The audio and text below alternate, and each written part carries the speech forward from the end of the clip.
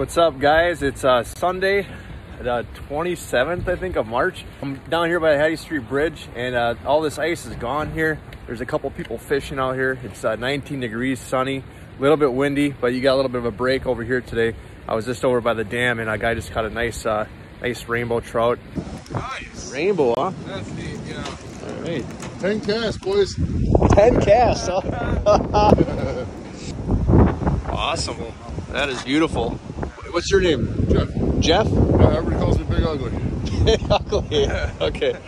Wow, beautiful fish. All right, it's cold and windy, 19 degrees. He's a hardcore angler here.